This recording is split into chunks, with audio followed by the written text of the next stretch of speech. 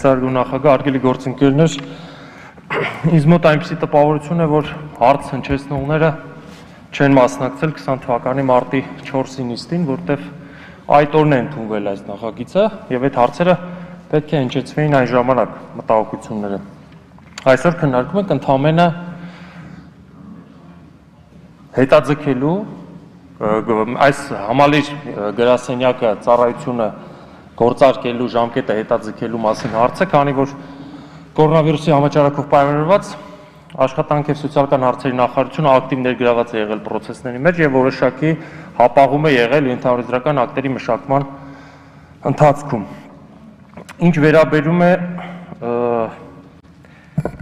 կոռուպցիայի դեմ պայքարին հարց հնչեց այստեղ, այո, այս գրասենյակը ծառայության ստեղծումը ուղիղ ուղղված է հնարավոր կոռուպցիայի դեմ պայքարին, որովհետեւ չի լինելու շփում շահառուի եւ որոշում կայացնողի միջև։ Սա པարզ մեխանիզմ է, միասնակ միասնակ մեկ գրասենյակ պատուանի ստեղծումով եւ միասնական գրասենյակի որոշում կայացնողը չի շփվելու շահառուի հետ, շահառուի հետ շփվելու է տեղական տեղում